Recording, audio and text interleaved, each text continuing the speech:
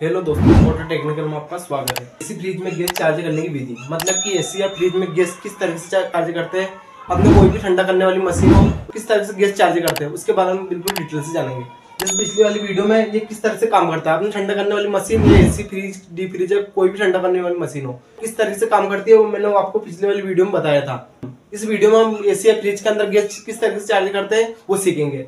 दोस्तों हम gas charge करते हैं, उस टाइम पे पाँच तरह की प्रक्रिया अपनाते हैं। कितने तरह की दोस्तों पाँच तरह की प्रक्रिया अपनाते हैं? कौन कौन सी एनआरवी लगाना फ्लेक्सिंग करना फ्लेक्सिंग दो जगह से की जाती है कंडेंसर की फ्लेक्सिंग एवापोरेटर की फ्लेक्सिंग प्रेशर चढ़ाना वैक्यूम करना गैस चार्ज करना। इस तरीके से पाँच प्रक्रिया होती है। ये पाँचों प्रक्रिया के साथ हम गैस चार्ज करना सीखेंगे। तो दोस्तों हम सबसे पहले बताता हूँ आपको कोई भी अपने ठंडा करने वाली मशीन है। दो तो दोस्तों, अपने एसी या फ्रिज कोई भी ठंडा करने वाली मशीन हो, उसमें गैस चार्ज करने की प्रक्रिया सेम होती है। पर उसमें गैस का अंतर रहता है तो सभी गैस अपने प्रेशर के आधार पर डाली जाती है। अपने रनिंग और स्टैंडिंग प्रेशर के आधार पर अपने गैस चार्ज करते हैं। दोस्तों आपको बताता हूँ, सबसे पहले आपने एनआरवी लगाना। क्या दोस्तों? एनआरवी लगाना। दोस्तों, आप जानते होंगे ये इस तरीके से एनआरवी रहती है। इसका आगे ये आगे की तरफ़ एक नोप रहती है जैसे दोस्तों, आपने देखा वो बाइक में अपने हवा भराते हैं। उस ट्यूब के अंदर इसी तरीके का वाल रहता है। उसे दबाने पर प्रेशर निकलता है और छोड़ने पर प्रेशर बंद हो जाता है। उसी तरीके से एनआरवी रहती है दोस्तों। दोस्तों, आप देखोगे, कोई भी अपने एशिया फ्रीज हो। क्या दोस्तों एशिया फ्रीज? अगर इससे पहले कभी गैस चार्ज नहीं हुई तो ये पंच रहती है। क्या रहती है दोस्तों, पंच? अगर इससे पहले कभी गैस चार्ज होगी अपने सिस्टम में तो उसमें एनआरवी लगी रहती है। क्या लगी रहती है दोस्तों एनआरवी तो अगर ये पहले से पंच है तो इससे क्या करेंगे? ट्यूब कटर के माध्यम से हम टूप कटर के माध्यम से हम इसे काट देंगे। दोस्तों, आप जानते होंगे इस तरह के टूप कटर है तो टूप कटर के माध्यम से हम इसे काट कर अलग कर देंगे। एनआरबी लगाएँगे। क्या लगाएँगे दोस्तों? एनआरबी लगाएँगे। दूसरे नंबर पे अपने दोस्तों फ्लेक्सिंग करना। फ्लेक्सिंग करने का मतलब बताता हूँ दोस्तों मैं आपको। तो दोस्तों, अब गैस चार्ज करने की प्रक्रिया अब स्टार्ट हुई अपने। सबसे पहले अपने फ्लेक्सिंग करना। क्या है दोस्तों? फ्लेक्सिंग करना। फ्लेक्सिंग करने का मतलब बताता हूँ दोस्तों मैं आपको अंदर के अपने सिस्टम के अंदर के कचरे को बाहर निकालना। अंदर के कचरे को, अपने सिस्टम के अंदर के कचरे को बाहर निकालना फ्लेक्सिंग कहलाता है। फ्लेक्सिंग अपने दो तरीके से होती है। कंडेंसर की फ्लेक्सिंग एओपरेटर की फ्लेक्सिंग मतलब नंबर पर अपने कंडेंसर की फ्लेक्सिंग करते हैं, दूसरे नंबर पर अपने एओपरेटर की फ्लेक्सिंग करते हैं। क्या करता है दोस्तों? एओपरेटर की फ्लेक्सिंग आपको बताता हूँ फ्लेक्सिंग करने की क्या ज़रूरत होती है। जैसे दोस्तों, मैं आपको बताता हूँ, दोस्तों कंप्रेसर के अंदर ऑयल रहता है। क्या रहता है दोस्तों? ऑयल अपना सिस्टम चलेगा। उस टाइम पे अपने गैस के साथ अपने ऑयल भी रनिंग करेगा। सिस्टम चलता है तो उस टाइम पे चलते चलते अपने, किसी टाइम के बाद अपना ऑयल गट्ठा हो जाता है ऑयल जम जाता है। तो जम जाता है तो अपने पाइप क्या चौक हो जाती है। तो ऑयल की वजह से अपने पाइप चौक हो जाती है, जिससे अपना गैस का रोटेशन बंद हो जाता है। या उस ऑयल को निकालने के लिए कुछ जमा हुए ऑयल को निकालने के लिए फ्लेक्सिंग करने की ज़रूरत रहती है। क्या रहती है दोस्तों? फ्लेक्सिंग करने की ज़रूरत रहती है। सबसे पहले हम क्या करेंगे? किसी टूब कटर के माध्यम से या बेल्डिंग गन के माध्यम से। दोस्तों, आपको ये पता होगा ये बेल्डिंग गन है। क्या दोस्तों? बेल्डिंग गन तो इसके माध्यम से हम इसे गर्म करके इसे निकाल भी सकते हैं, या फिर अपने, या फिर अपने टूब कटर के माध्यम से इसे काट कर अलग कर सकते हैं। तो दोस्तों, सबसे पहले क्या करेंगे? यहाँ से काट देंगे हम। काटने के बाद क्या करेंगे दोस्तों? अब दोस्तों सबसे पहले करना है अपना कंडेंसर की फ्लेक्सिंग तो अपना कंडेंसर की फ्लेक्सिंग करेंगे। जो सिस्टम है अपने एसी या फ्रिज कोई भी हो तो सिस्टम को अपना ऑन करेंगे। क्या करेंगे दोस्तों? सिस्टम को ऑन करेंगे। ऑन करने के बाद जैसे अपने कंप्रेसर चालू होगा, इधर से गैस को खींचना, इधर से गैस को फेंकना, काम करता है अपना कंप्रेसर मैंने आपको बता चुका हूँ मैं। तो ये अपने पाइप है। इस यहाँ से अपना फ़िल्टर के यहाँ से काट देंगे इसे। तो कंडेंसर आउटपुट को इस तरीके से पकड़ेंगे जैसे कि अपने पाइप ये कंडेंसर पाइप है। तो हाथ का अंगूठे को इस तरीके से पकड़ के झटके के साथ छोड़ेंगे। इसे पकड़ेंगे तो इसके अंदर प्रेशर भरा जाएगा। और जैसे छोड़ेंगे तो अंदर का मॉइस्चर या ऑयल बाहर निकलेगा। इसके अंदर कचरा या ऑयल बाहर निकलता है। इसे बंद करेंगे, छोड़ेंगे, बंद करेंगे, छोड़ेंगे। ये प्रक्रिया आप बार बार करते रहेंगे जिससे कि आप अपना कंडेंसर कचरा बाहर निकल जाएगा। उसी तरीके से क्या करेंगे दोस्तों, आगे की तरफ़, अपना आगे की तरफ़ करेंगे एवापोरेटर की फ्लेक्सिंग ये अपने कंडेंसर की फ्लेक्सिंग कर चुके हैं। अब उसी तरह कंडेंसर की फ्लेक्सिंग करते हैं। उस टाइम पर अपना थोड़ा हल्का हल्का अपने कंडेंसर को गर्म कर सकते हैं। जिससे क्या होता है दोस्तों इसके अंदर मॉइस्चर है या ऑयल जम चुका है। तो गर्म करेंगे तो ऑयल पिघल जाएगा। तो इस तरीके से अपने झटके साथ छोड़ेंगे, ये प्रक्रिया आप दस से पंद्रह बार करेंगे, या इससे ज़्यादा भी कर सकते हैं, या इससे कम भी कर सकते हैं। कुल मिलाकर बात यह है कि जब तक इसके अंदर से अपने कचरा या ऑयल आना बंद ना हो जाओ, तब तक ये प्रक्रिया करेंगे। अब इसके बाद क्या करेंगे दोस्तों? अब इसके बाद हमने फ़िल्टर को चेंज करना है। क्या करना है दोस्तों? इसके बाद हमें फ़िल्टर को चेंज करना है। तो दोस्तों, जब भी हम गैस चार्ज करते हैं, जितनी भी बार हम गैस चार्ज करते हैं, उस टाइम पर हम नया फ़िल्टर डालते हैं। क्या करते हैं दोस्तों? नए फ़िल्टर डालते हैं। तो यहाँ से अपना नए फ़िल्टर चेंज कर देंगे। उस जगह हमने नए फ़िल्टर लगा देंगे। क्या करेंगे दोस्तों? नए फ़िल्टर लगा देंगे। दोस्तों आप अगर इसे बेल्डिंग करने के माध्यम से गर्म करके वापस लगाएँगे, उस टाइम पे आसानी से चिपकता नहीं है। तो एक तरफ़ लोहे का कंडेंसर है, वो दूसरे कॉपर की पाइप है। तो इन्हें चिपकाने के लिए अपना फ्लेक्स पाउडर का प्रयोग किया जाता है। क्या किया जाता है दोस्तों? फ्लेक्स पाउडर ये इस तरह का व्हाइट व्हाइट पाउडर रहता है फ्लेक्स पाउडर इसके माध्यम से हम जोड़ देंगे। उसके बाद आप नए फ़िल्टर लगाकर एवापोरेटर की फ्लेक्सिंग करेंगे। क्या करेंगे? तो पहले तो हमने इसका तो इसका कचरा निकाला है। उसी तरीके से आगे की तरफ़ आप एवापोरेटर कचरा निकालेंगे। इसके अंदर जो ऑयल जम चुका है, उस ऑयल को निकालेंगे एवापोरेटर के फ्लेक्सिंग के द्वारा। तो दोस्तों, हम नया फ़िल्टर लगा लेंगे। उसके बाद क्या करेंगे दोस्तों? जहाँ अपना सिस्टम का कंप्रेसर है। क्या कहें दोस्तों सिस्टम का कंप्रेसर तो यहाँ तो टूप कटर के माध्यम से बिल्डिंग कटर के माध्यम से हम इसे गर्म करके अलग कर देंगे। जहाँ अपने कंप्रेसर की सक्शन लाइन है, उस जगह से अपने गर्म करके निकाल देंगे। अब उसी तरीके से क्या करेंगे दोस्तों? जैसे अपने इसे ऑन करेंगे। वापस क्या करेंगे दोस्तों? इसे ऑन करेंगे। ऑन करके जैसे डिस्चार्ज के माध्यम से गैस को फेंकेगा, ये इधर से रनिंग की कोई प्रक्रिया अपनाएँगे। हाथ का अंगूठे से इस तरीके से पकड़ेंगे और झटके के साथ छोड़ेंगे।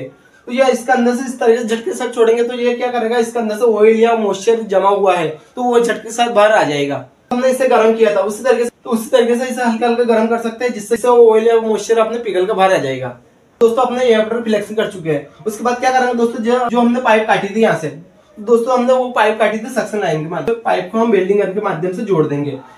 तो ये हमने जोड़ चुके हैं। अब आगे की प्रक्रिया अपने प्रेशर चढ़ाना क्या दोस्तों, प्रेशर चढ़ाना ये दोस्तों, आपको स्क्रीन पर नज़र आ रहा होगा प्रेशर गेज किस तरीके से होता है।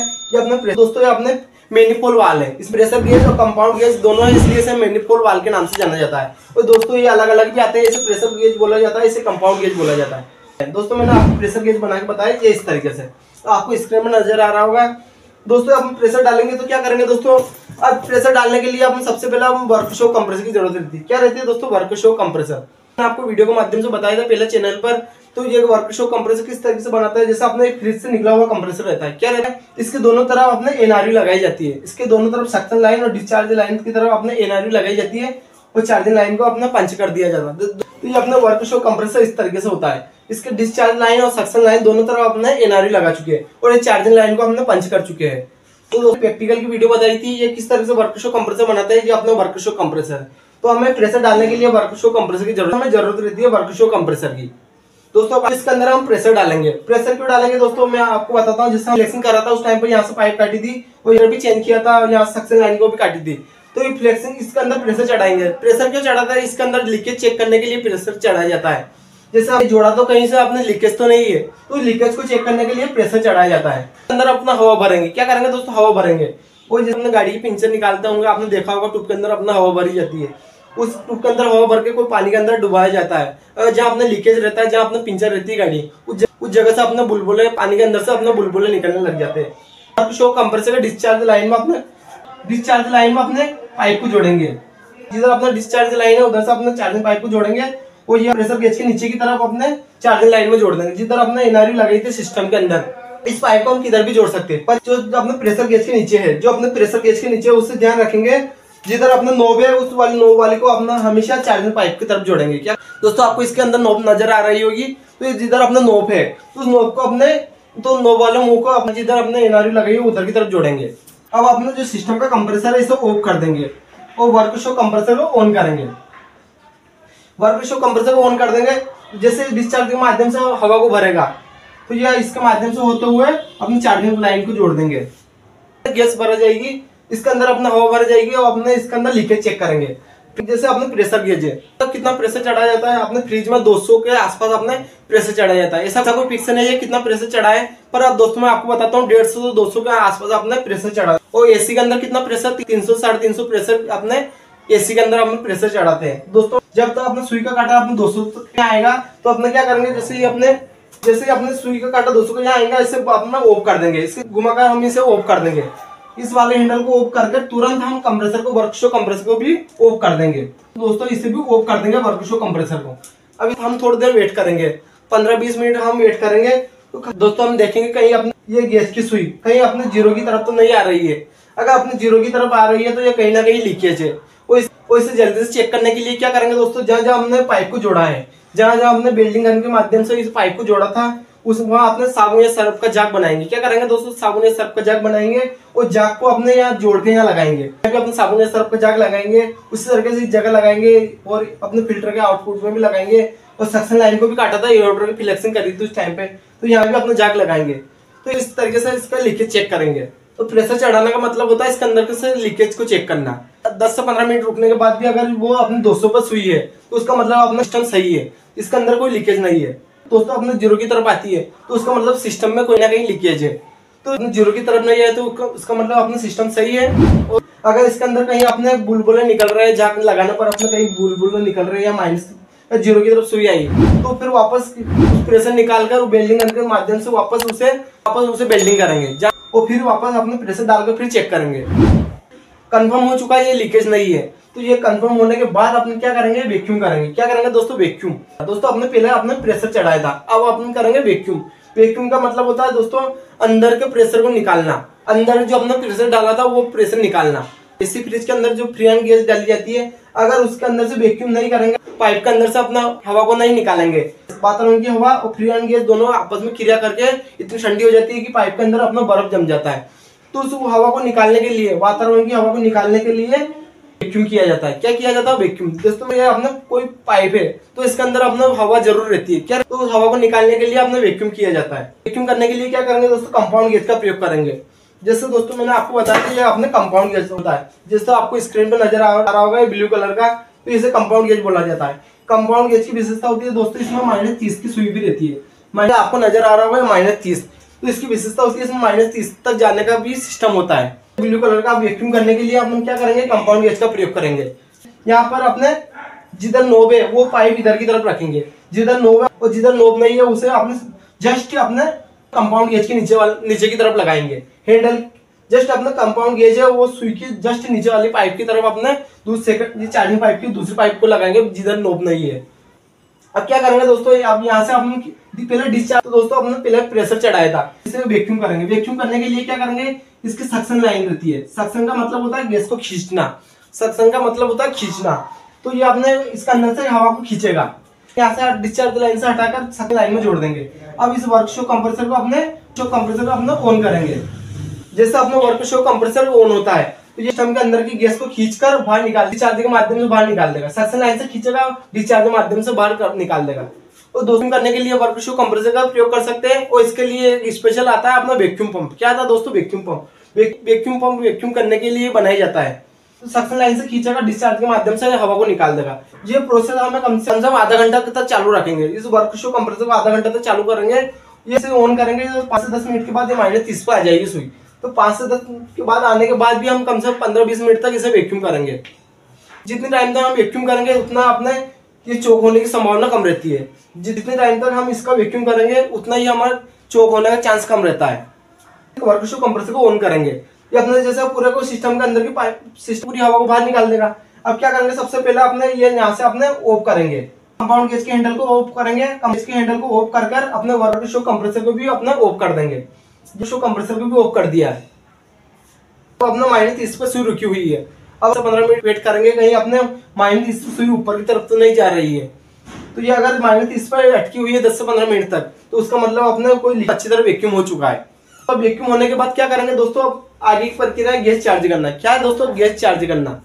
दोस्तों अब गैस चार्ज करना मैं बताता हूँ आपको वैक्यूम करने के बाद गैस चार्ज करने की प्रक्रिया होती है। गैस चार्ज अब क्या करेंगे? जो हमने जो पाइप हमने सक्शन लाइन को जोड़ी थी, वहाँ से वर्कशॉप कंप्रेसर के वहाँ से खोल देंगे सक्शन लाइन को और अपने तो गैस वाली केन को लगाएँगे। क्या करेंगे दोस्तों? गैस वाली केन को अब इस जगह लगाएँगे। दोस्तों, मैं आपको बताता हूँ, ये दोस्तों, हम गैस चार्ज करेंगे। गैस चार्ज करने के लिए अब अपने ये आर एक की केन लगा चुके हैं अभी हमने वर्कशॉप कंप्रेसर को खोल दिया है। अब ये यहाँ से अपने हैंडल बंद है। क्या दोस्तों हैंडल बंद है? दोस्तों आर एक गैस है इसके अंदर। कोई भी एसी या फ्रिज में कोई भी गैस डाली जाती है तो हमेशा अपने बोतल को उल्टी रखी जाती है। ये बोतल को हमेशा उल्टी रखी जाती है। दोस्तों, अब इसका कारण मैं बताता हूँ आपको। गैस हमेशा लिक्विड में डाली जाती है। क्या अगर इसे आपने इस तरीके से डालेंगे, इसे सीधा कर कर, वाष्पी में गैस जाएगी। और इसके अंदर कोई एक्स्ट्रा गैस है, वातावरण की कोई हवा है तो वो भी साथ साथ चली जाएगी। अगर आपने उल्टा करके डालेंगे तो ये लिक्विड के रूप में जाएगी, और जो भी खराब गैस है अपने, जो ऊपर की तरफ़ आ जाएगी, और जो भी अपने काम की गैस है तो नीचे से निकल कर अपने कंप्रेसर में अपने अपने सिस्टम में जाएगी वो। करेंगे दोस्तों यहाँ से अपने ऑन करेंगे, इस वाल को खोल देंगे पूरा।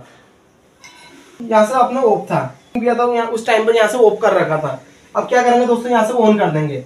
और अपने पूरे सिस्टम का तो वैक्यूम कर चुके हैं। जब हमने यहाँ से वर्कशॉप कंप्रेसर खोला था, उस टाइम पर इस पाइप के अंदर अपने बाथरूम की हवा भर चुकी है। तो उस हवा को भी निकालना पड़ेगा। उसके लिए क्या करेंगे दोस्तों, इधर से अपने ऑन करेंगे। इधर से अपने ऑन करेंगे। दोस्तों, मैं आपको एक और चीज़ बताता हूँ। आपको इसके अंदर अपने, जब अपने केंद्र को जोड़ा जाता है, उस टाइम पे एंटी चौक आता है। क्या आता है दोस्तों, एंटी चौक एंटी चौक या एंटी मोस्ट आता है, जिससे अपने कोई चौक होने की संभावना कम होती है। लिक्विड लिक्विड पदार्थ होता है, एंटी चौक है तो एंटी चौक भी डाल देंगे।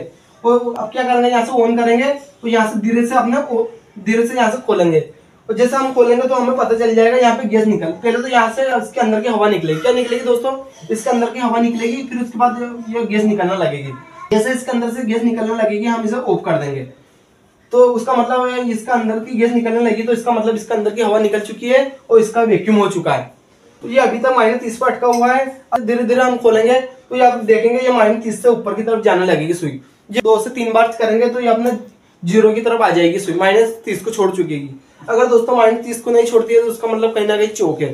तो ये तो दोस्तों हम जैसे इसे धीरे धीरे खोलेंगे तो ये अपने प्लस की तरफ़ जाने लगेगी सुई अब जैसे ये प्लस की तरफ़ ज़ीरो से ऊपर जाती है सुई तो उसके बाद अपने इसे ऑन कर देंगे। वर्क सिस्टम वाले कंप्रेसर को ऑन कर देंगे। ऑन करेंगे तो ये आप गैस को रोटेशन चलने लग जाएगा। दोस्तों हम देखेंगे आप इसके रनिंग स्थिति में आपने गैस चार्ज करते हैं। सभी गैस का अलग अलग प्रेशर होता है। सभी गैस का अपना रनिंग और स्ट्रेनिंग प्रेशर अलग अलग होता है। जो अपने फ्रिज में गैस डाली जाती है, जैसे दोस्तों अपने जो आर एक गैस है, उसका रनिंग प्रेशर अपने आठ से दस पी एस आई इसका रनिंग प्रेशर है। और इसका स्ट्रेनिंग प्रेशर कितना दोस्तों? पिचासी से पिंचाड़ में इसका स्टैंडिंग प्रेशर है। करने के बाद हम इसे धीरे धीरे धीरे धीरे खोलेंगे और फिर वापस बंद कर देंगे। खोलेंगे वापस बंद करेंगे। खोलेंगे, बंद करेंगे, ये प्रक्रिया अपने तीन से चार बार करेंगे। दोस्तों हम देखेंगे ये जब तक इसकी सुई अपने आठ से दस के तक आ जाएगी। जो अपने कंपाउंड गेज है, इसकी सुई अपने आठ से दस के यहाँ आती है। तो ये अपने गैस चार्ज करना बंद गैस डालना बंद कर देंगे। और दोस्तों, हम देखेंगे जैसे आठ से दस इसके यहाँ सुई आती है तो ये अपना कंडेंसर अपना गर्म होने लग जाएगा। क्या होने लग जाएगा दोस्तों? अपने कंडेंसर तो ये अपने कंडेंसर गर्म होने लग जाएगा। जैसा हम इसके फिर इसके पीछे की जाली या अपने कोई भी सिस्टम है तो उसका कंडेंसर अपने गर्म होने लग जाएगा। उसके साथ साथ अपने फ़िल्टर भी गर्म होने लग जाएगा। जैसे अपने एयरपोर्टर के अंदर अपना हाथ डालते हैं तो एयरपोर्टर के अंदर की अपने जालियाँ ठंडी होने लग जाएगी। एयरपोर्टर अंदर से ठंडा होने लग जाएगा। तो इसका प्रेशर आठ से दस आ चुका है तो हम इसे कंपाउंड गैस कंपाउंड गैस को बंद कर देंगे और यहाँ से अपने गैस वाली केन को निकाल देंगे। आठ से दस पी इसका रनिंग प्रेशर आ चुका है। अब इसे अपने सिस्टम वाले कंप्रेसर को ऑफ़ कर देंगे। तो अपने सिस्टम वाले कंप्रेसर को ऑफ़ कर देंगे। तो दोस्तों हम देखेंगे, जैसे इसे ऑफ़ करेंगे, थोड़ी देर बाद देखेंगे दोस्तों ये पिचासी में आ चुकी है स्वीट तो इसका स्टेनिंग प्रेशर होता है आर एक सौ चौतीस का पिचासी से पिंचाण में। तो हम देखेंगे पिचासी में इसकी सुई आ जाएगी। तो उसका मतलब जितनी इसकी आवश्यकता थी, वो गैस इसके अंदर जा चुकी है। और हम देखेंगे अपना कंडेंसर अपने गर्म होने लग जाएगा, अपने वेपर अंदर से ठंडा होने लग जाएगा। दोस्तों, मैंने आपको एसी या फ्रिज में गैस चार्ज करना बताया है। ये सभी सिस्टम में जो भी अपने ठंडा करने वाली मशीन है, वो इसी तरीके से अपने गैस चार्ज करते हैं। उसके अंदर अपने इसी तरीके से गैस चार्ज करते हैं। सबका सबकी प्रक्रिया सेम होती है। दोस्तों, मैं आशा करता हूँ आपको वीडियो पसंद आई होगी। दोस्तों, अगर आप चैनल पर नए हैं तो चैनल को सब्सक्राइब कर लीजिए, जिससे मेरा हौसला बढ़ सके और साथ में बेल आइकन का बटन भी दबाइए, जिससे मेरी आने वाली वीडियो की नोटिफिकेशन आपको पहुँच सके। वीडियो देखने के लिए बहुत बहुत धन्यवाद।